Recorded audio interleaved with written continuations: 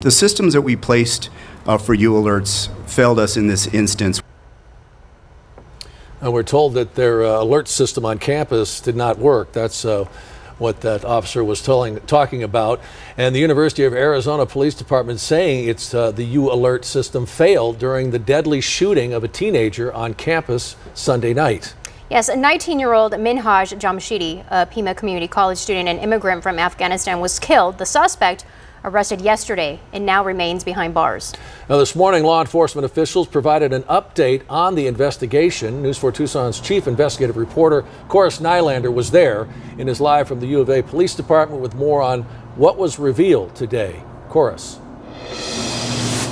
Hello, Sean. UA Police Chief Chris Olson, who you just heard uh, there, was joined by Tucson's police chief as well as the Pima County Sheriff, expressing concern over repeated acts of violence involving teenagers with guns. They provided some new details in their investigation on the tragic death of Minhaj Jamshidi. Why is there a gun present at a volleyball game with young men in their in their early 20s or younger than that? That's the resounding question Tucson Police Chief Chad Kasmar is left with after the tragic shooting of 19 year old Minhaj Jamshidi, gunned down while playing volleyball with close friends Sunday night at this volleyball court near a dormitory complex on campus and more and more young men are producing firearms in what used to be a ver verbal argument or what used to be a good old fashioned fistfight. University Police Chief Chris Olson said that tips had helped identify Ryan Romero Encinas as the suspected gunman, but after three days on the run, he called police to turn himself in, arrested at this Tucson apartment complex Wednesday. The Pima County Attorney's Office says he appeared in court Thursday morning receiving a million dollar bond, charged with first degree murder. Chief Olson says the shooting happened after a series of arguments during a volleyball game. The suspect was known as someone who regularly played volleyball at the courts, but no one knew his name. A weapon has been recovered. But we cannot confirm if it is the murder weapon at this time. News 4 Tucson spoke with several students who were concerned about how police handled securing the campus. What if someone had their headphones in and they didn't notice what was going on?